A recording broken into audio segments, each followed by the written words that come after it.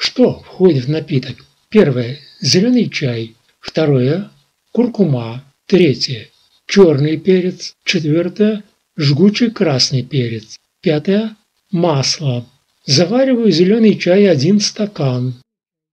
Зеленый чай рекомендуется применять при простатите и аденеме предстательной железы в качестве дополнения к общей терапии лечения. Масло выбрать можно по вкусу. Топленое масло из молока коровы или какао-масло, или другое натуральное масло, которое будет наиболее отвечать вашему вкусу и предпочтениям.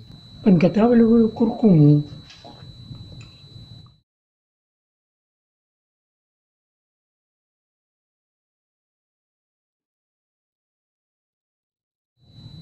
Черный перец. Обратите внимание, куркумин из куркумы без черного перца практически не усваивается организмом. Коротко о свойствах куркумина. Многие исследования показали, что куркумин успешно тормозит возникновение и рост опухолей. Теперь добавляю красный перец.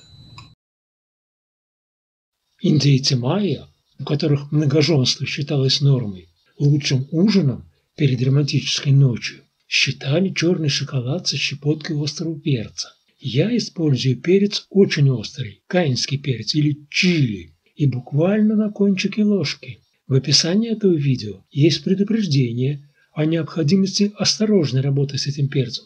Пожалуйста, прочитайте.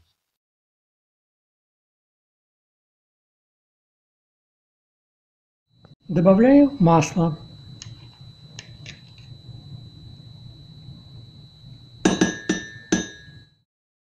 Сейчас я использую топленое масло из молока коров, коров, которых кормили травой. Прошло пять минут. Чай заварился. Переливаю чай из чайника в чашку. Напиток готов. Можно пить этот чай в прикуску с грецким орехом.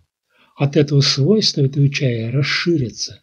Грецкий орех – это известное средство, средство для усиления и восстановления потенции. Обратите внимание, сахар в состав напитка не входит.